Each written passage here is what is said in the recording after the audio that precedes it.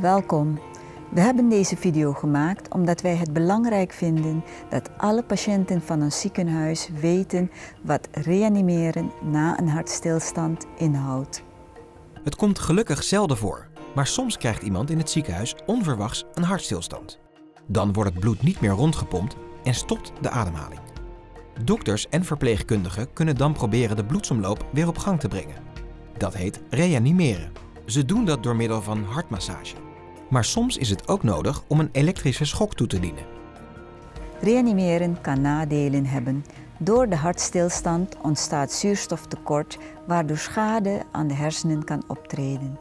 Herstel is mogelijk, maar in ernstige gevallen niet.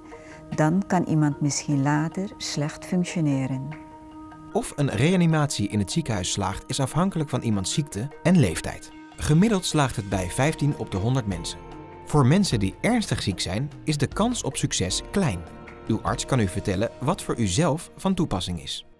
Voor iedereen die is opgenomen in het ziekenhuis wordt genoteerd of hij of zij gereanimeerd moet worden bij een hartstilstand. Er zijn verschillende situaties mogelijk. De meeste mensen hebben een redelijke kans van slagen en bij hen wordt genoteerd dat ze bij een hartstilstand gereanimeerd zullen worden.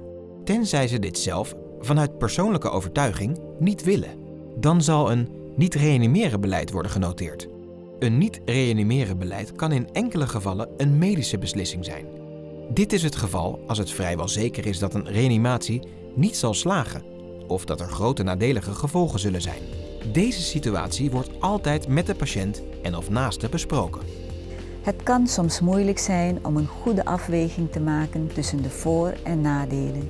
In dat geval zullen wij samen met u een beslissing nemen. Als de afspraak is dat u niet gereanimeerd zult worden, dan krijgt u nog steeds de best mogelijke behandeling, zoals iedereen in het ziekenhuis.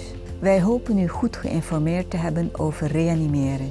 Maar als u nog vragen heeft, stel die dan gerust aan uw arts.